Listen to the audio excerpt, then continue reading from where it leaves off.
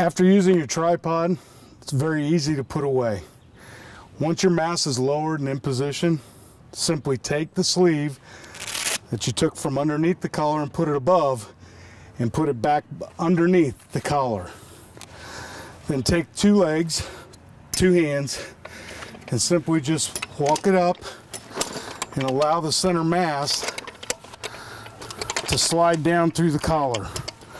Now remember, take this sleeve and pull it up so the eye bolts of the of the tripod don't scratch the finish of your tripod and it's closed.